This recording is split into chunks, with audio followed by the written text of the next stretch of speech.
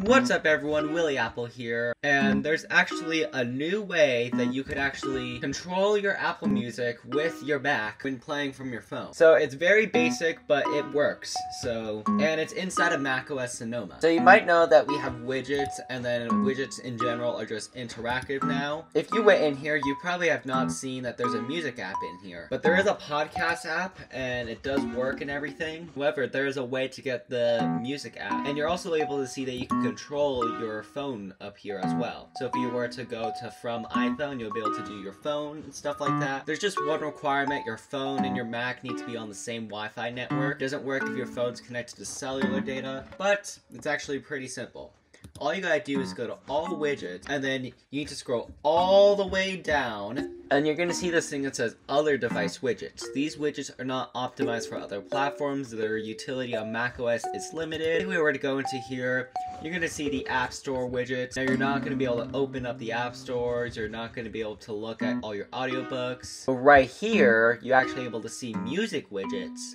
and they are from the iPhone. So you see your recently played right here, your recommendations, and the top chart. So basically these are the top 100 songs in your country right now. And then you could just play them straight out of the box.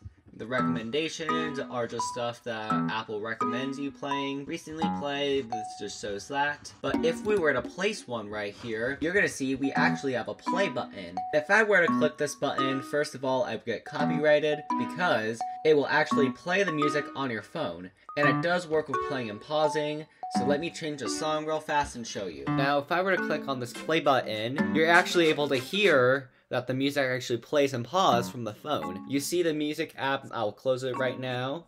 But if I were to play it, this is not your Mac music app, this is actually your iPhone's music app. So you're actually able to play and pause songs, but that's basically it. It's at least better than nothing, and I hope Apple can add Apple Music Connect in the future. But at least we have the ability to play and pause music with this secret hidden way inside of macOS Sonoma. Thanks for watching, come like, subscribe, share it with your friends, and I'll see you in my next video. Bye!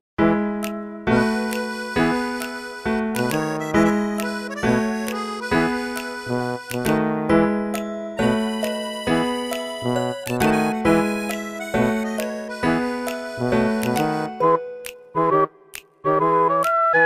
you.